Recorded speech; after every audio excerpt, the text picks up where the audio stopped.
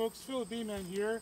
I got some res more results on our dipping versus non-undipped uh, wax foundation. So uh, remember that I dipped half a sheet. So one half of the sheet is uh, just as it came from the factory. The other half is uh, was dipped uh, by me.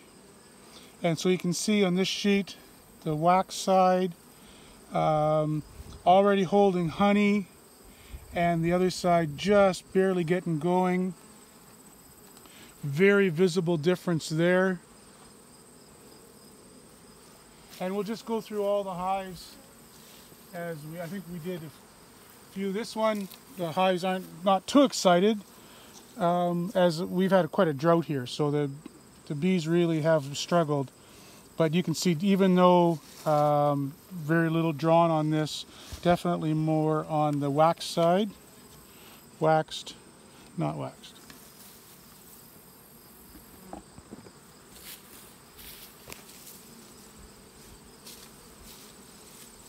This one, that side's pretty good. This side, definitely a difference, although this, for whatever reason, this sheet is bulged a little bit. Not crazy about that.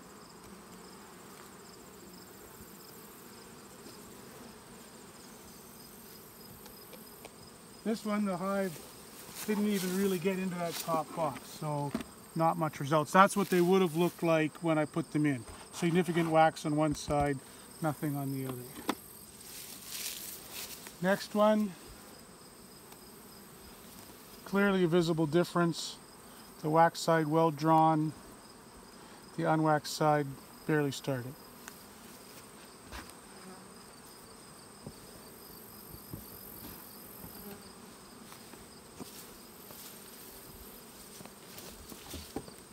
This one's Ritecell, drawn, and even holding a little bit of honey, and then basically no action on the standard issue side.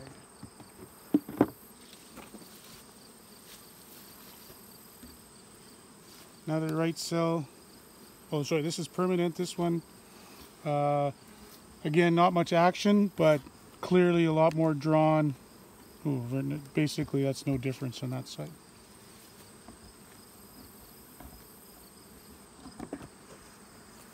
This hive a little bit more success and a very, very visible difference.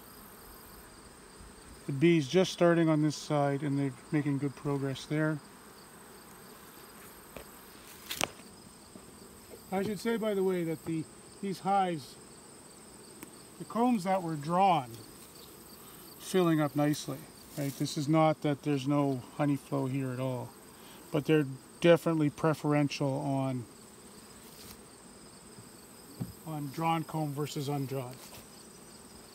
That's a struggle a lot of folks might have with getting foundation drawn is the bees will be picky and choosy. They'll decide when they want to do it. Another good one. Clear difference in sport. And this this one here also is bulgy. I don't know that that batch of foundation must have been warped or something. Anyway, very clear difference. They're drawing out the side I've dipped and taking no interest in either in the undrawn, unwaxed side. So I hope that, oh, there's more, two more.